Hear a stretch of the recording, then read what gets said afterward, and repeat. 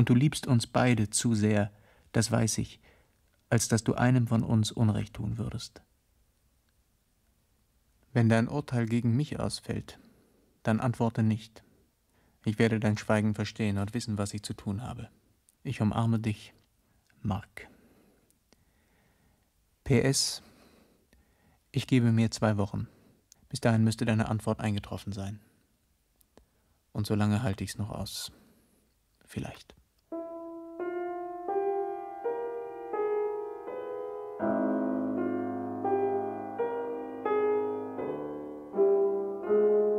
Mein lieber alter Mark, Armand hat mir alles zwei Tage vor meiner Abfahrt erzählt. Sie war eben eifersüchtig und hat dir nachspüren lassen. Sie war außer sich vor Wut und Demütigung, als sie erfuhr, dass es um Pleo ging.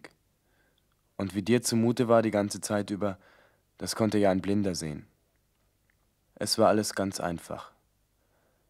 Ich konnte nicht mit ansehen, wie ihr beide leiden musstet. Ihr, die ihr mir doch so viel bedeutet, jeder von euch.